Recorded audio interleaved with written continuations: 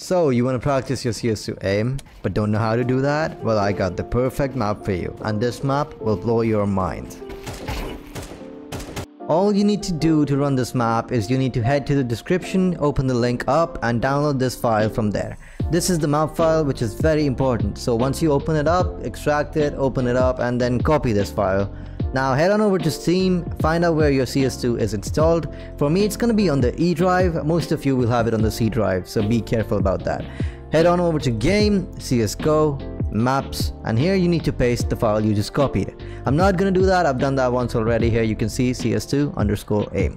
Now once this is all done, head on over to Steam once again, head on over to General from in the Properties tab, and once you open your launch options, you have to type in hyphen insecure. Without this, it's not gonna work. So this is very important, hyphen insecure. And once you do that, I will give you a fair warning. Once you do that, you won't be able to play any CS2 official maps or game modes.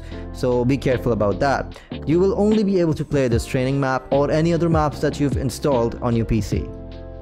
So now once all that is done, all you need to do is launch CS2, head on to console, type in map and cs2 underscore aim. It should be preloaded in the console for you. Put that in and you will be loaded into your training map.